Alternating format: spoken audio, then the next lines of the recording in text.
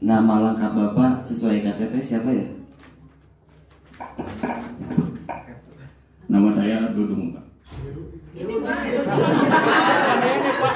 Oh, yang aslinya, Bu. ini aja nanti kita supaya bisa tahu kan. Oh, Pak Amir. Jadi ini Pak. Nama saya Amiruddin Pak. Eh, kalau nomor induk kependudukan Bapak berapa Pak? Saya eh, nanti saya catat. Kurang jelas itu. Tiga satu. Tiga satu tujuh dua kosong satu dua satu kosong tujuh delapan lima kosong kosong kosong satu. Kalau kewarganegaraan Bapak?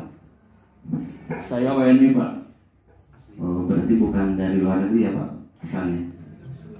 Bukan bukan saya suku eh, Jawa. Sukunya belum ditanya Pak. Sudah harus dijawab, Pak. Oh ya.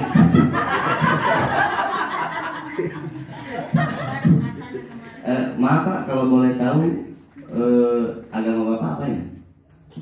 Agamanya Islam. Islam di KTP juga Islam Pak? Iya. Eh, kalau tempat lahir Bapak, eh, dulu Bapak lahir di mana Pak? Kalau lahir saya dulu di Cilacap, eh, Cilacap tepatnya di Jawa Tengah Pak.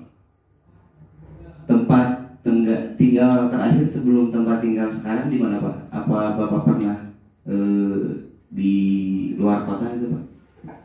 Eh, pernah dulu ditinggal di Kabupaten Gorontalo, eh, di Provinsi Gorontalonya. Alasan pindah dari Gorontalo ke Cilacap Pak? Alasannya karena pekerjaan dan waktu itu ada bencana alam eh, yang mengharuskan kami pindah. Oh.